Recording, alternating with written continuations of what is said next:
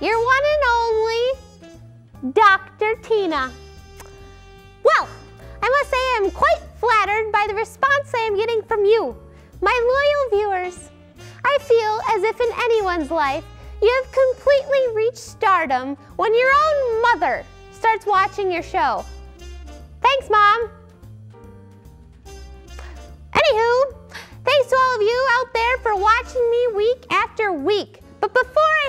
With your dreams, I first must tell you how to skin your knee. Here's how.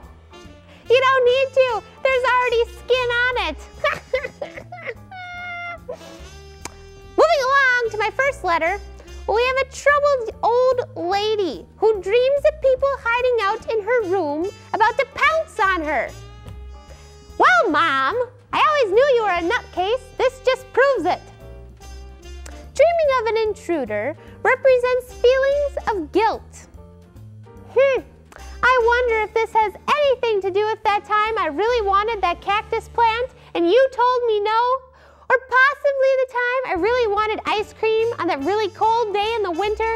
Or maybe even the time you burned me as a child? Ugh! Uh, What? the show? What? Mother, the best advice I can give is this. Get over it, because I won't. Moving along. The next troubled young lad dreams of taking pictures, and he asked me for relationship advice. well, you dashing fellow, your dreams are a reflection of relationships. Dreaming of taking pictures means you need to focus more attention on some situation or relationship. This picture could also be your way of trying to recapture past moments. My advice is to go out and have some fun, loosen your tie, let your hair out, and wear tie-dye socks, but most importantly, live your life. Now I know this girl from Maine even though I've never met her, but yet she dreams of me. Told you those fans were getting obsessive.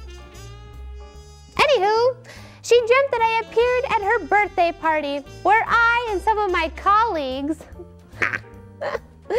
spelt out happy birthday in miniature cars and trucks. Then we left. Ha! she was upset, distraught even. She cried because we left without saying goodbye. She wanted to take pictures with me, like every fan does. But sadly, I was gone with the wind. For my friend out there, I am sorry. Luckily, this was only a dream, and this is what it means.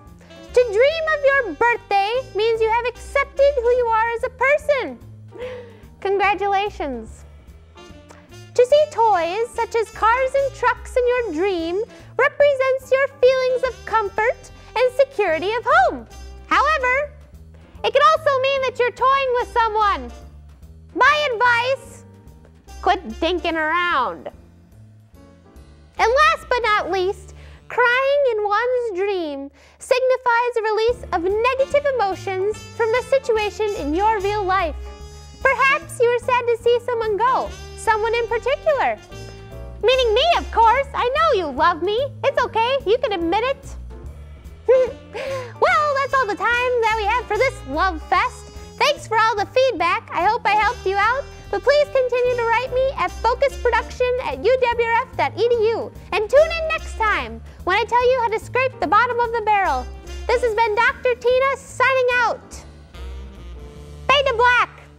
Fade to black.